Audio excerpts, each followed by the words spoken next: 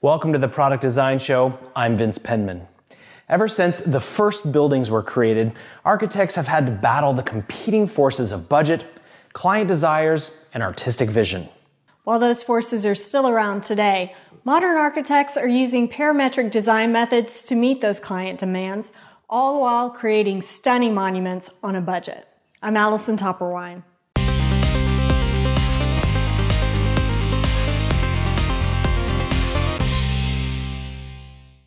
Like product designers, architects have had to be experts at balancing the conflicting demands of aesthetics, physics, budgets, and logistics against customers' demands for features. And when you're designing a building, you get to add in constraints from civil regulations and a host of logistics associated with complex and long-term projects. O&L's Liwa Tower project is a great example of a complex project that progressed through a process similar to what many product development teams follow. Gijs Joosen, O&L's senior architect, told us about the conflicting design objectives for the project. One of the biggest challenges came from the client's demand to have a building that housed precisely 21,604 square meters of interior space.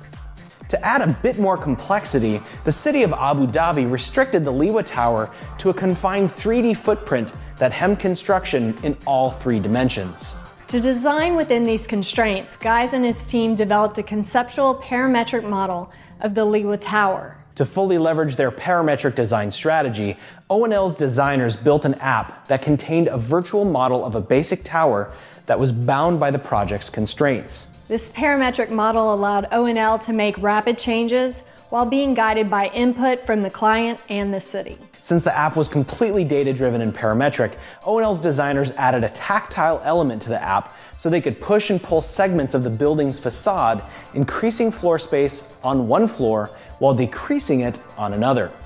As the team iterated through designs, the app managed the project's constraints, leaving the designers the freedom to express their vision for the aesthetic goals. Although O&L's parametric app was a very effective design tool, it also proved extremely helpful when it came time to create a schedule for the tower's construction. Once the final design was set, the building's non-standard, uniquely shaped structural elements were linked to their position in the building's overall structure. With each element parametrically built to form its portion of the tower's facade, each element received its own unique ID number, identifying where it fit within the tower's whole. By assigning a number to each structural element, construction of the building could be rigorously organized, dramatically reducing the project's labor costs and ensuring the tower was completed on time. Guided by a parametric design scheme and a project-specific app, O&L's architects have been able to transform design constraints into avenues for design method innovation. A similar approach could be useful for large machine construction projects.